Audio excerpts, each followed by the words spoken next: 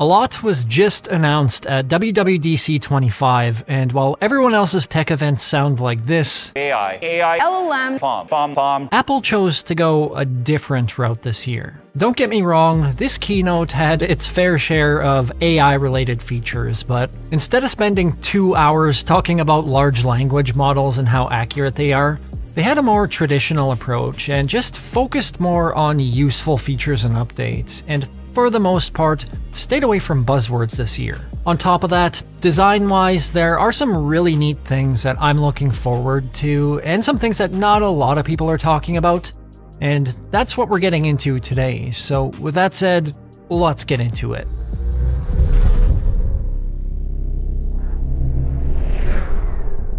This video is sponsored by ESR. Hey everyone, Kyle Erickson here. So, this year was a bit of a departure from last year's WWDC, where Apple dove heavily into AI, which I think was somewhat of a necessity given that there's still controversy surrounding last year's event. There was supposed to be a smarter Siri with contextual awareness, which Apple did briefly address at the beginning of WWDC 25 saying that they're still working on it, but I think that sort of pushed this year's event into more of a traditional WWDC centered more around OS features. And it was such a nice break from hearing about AI agents and chatbots. There were no new products announced this year, which was a bit of a bummer, but every OS was gone over, all essentially with two things in common. One, they renamed every OS to fall in line with the year that they'd be used in, in this case 2026, so iOS 26, macOS 26, and so on. And two, they're all using Apple's new design language, Liquid Glass. Liquid Glass has translucent, glass-like interface elements that refract light with specular highlights, where everything dynamically adapts between light and dark content on your screen.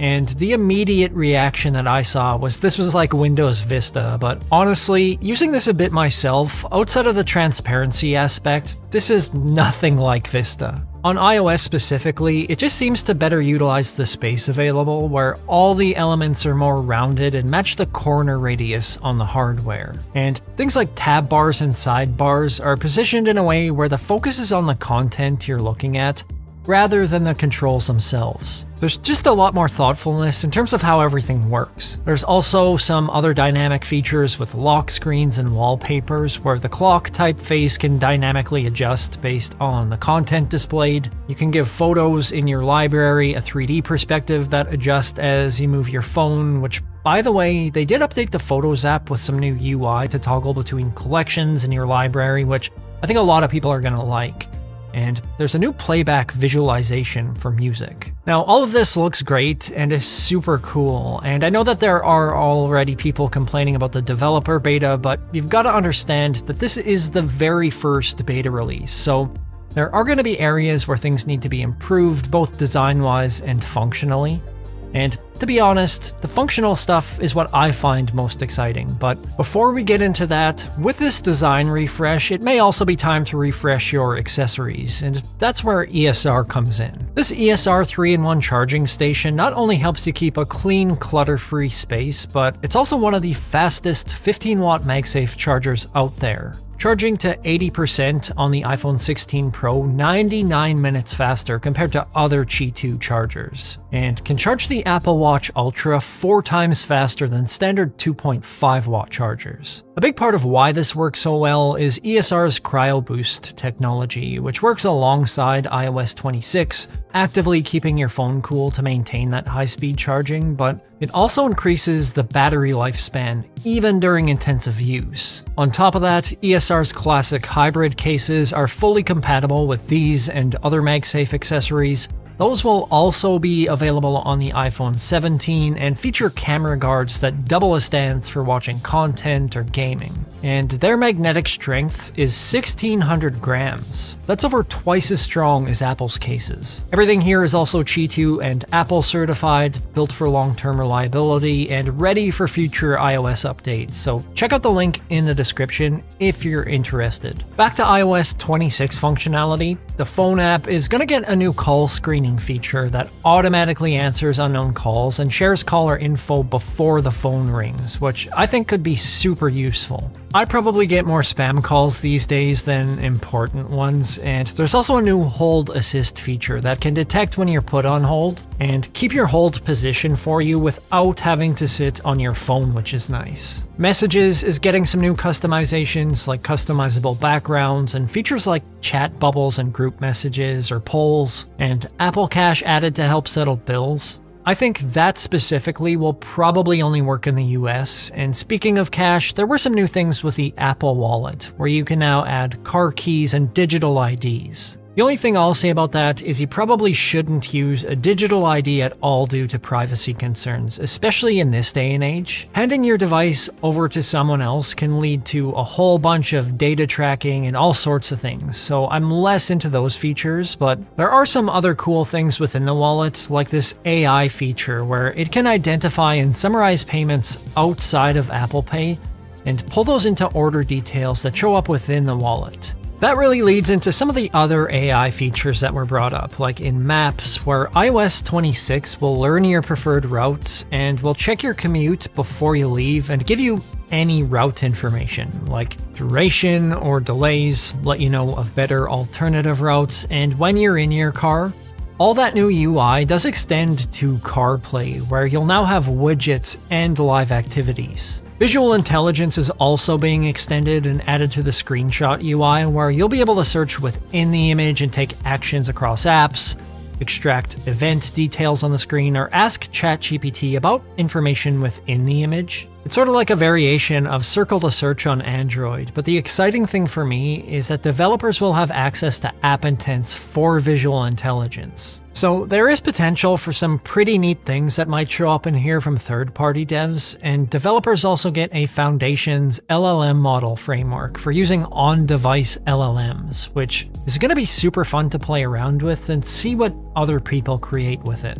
Outside that, there's a new gaming app that consolidates your gaming library in the Apple Arcade and whole experience into a centralized location, and kind of moves Apple closer to having a more legitimate gaming experience. And there were some other things here and there, like live translations across messages and calls, but in large part, that's essentially what you can expect from iOS 26 this fall. When it comes to watchOS 26, there were a lot less things to note.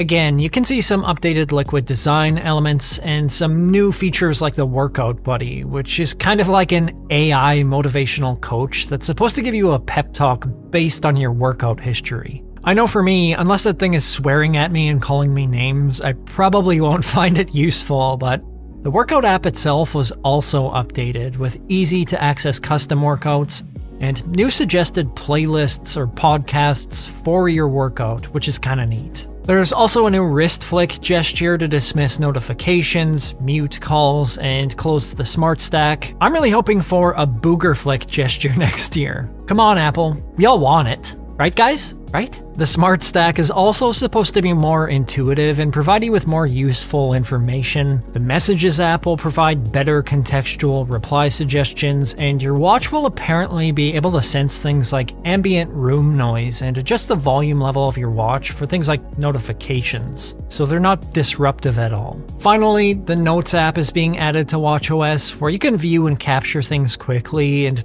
as a whole, there feels like there may be some meaningful stuff there, but my guess is it will feel largely the same, and the same goes for tvOS. tvOS functionality is going to be largely the same, just with a facelift and that new liquid glass feel. I think that's fine, I really have no issues with tvOS in its current state, and the next big upgrade was with macOS 26, or Tahoe as it's called this year. Again, you're going to get those liquid glass elements and a refreshed design where the menu bar is now transparent. You can now change folder colors, tint icons, and there's just a lot more visual customization. Tahoe will also have some continuity or ecosystem updates that will show live activities that when clicked will open up iPhone mirroring. You'll also have access to a phone app where you can directly call people from your Mac that will have the same look and features as the phone app in iOS 26. The Shortcuts app is available with automatic triggers and Apple Intelligence features, but probably my favorite thing that was shown were the updates to Spotlight, which will see its biggest update ever. In Spotlight, you'll be able to search just like you normally would, but you'll now be able to let it know what actions you'd like to perform within specific apps, you can access menu bar items from the app that you're in within Spotlight, which I think will be useful in apps that maybe you're not familiar with, or you don't know where specific functions are, and there's also quick keys, like typing SM for sending a message, and maybe the most useful here is there's now a clipboard history for accessing things that you've copied. Apple also said Spotlight will be contextually aware and be able to make suggestions in current apps or documents you might be working on. I am kinda curious about some of these contextually aware features because these are the same type of features that were delayed with Apple Intelligence, but there's no coming later this year tag like there was last year, so I'm assuming that these will be ready out of the gates in the fall. Outside that, macOS is getting that same gaming app that iOS 26 is getting, and iPad 26 will see that as well, but I thought iPad OS was the highlight of the event iPadOS has historically just been a version of iOS with some updated features for the larger screen, which I think have taken away from the iPad's potential a bit. And while it is still based on iOS and you'll get pretty much all the same features you'll see in iOS 26, iPadOS 26 adds some pretty great new multitasking features. There's a brand new window system where you can fluidly resize windows, the pointer is supposed to be more responsive and precise, and it's getting new macOS style controls with minimize and close buttons. There's a menu bar with labeled options. Preview is coming to iPadOS, and you can also set default apps for opening specific files. Honestly, this looks like it's finally getting a more usable UI that has a lot more potential to be a laptop replacement, but it doesn't stop with the UI. iPadOS will now run background tasks for complex work that will show up in the form of live activities, which is useful for apps like DaVinci Resolve when rendering videos. And you'll also get more advanced hardware controls where you can select specific input devices for microphones, Again, very similar to a desktop experience. There were some other mentions like advanced 3D graphing and some updates to the Journal app, but those desktop features I think could make the biggest impact out of everything here.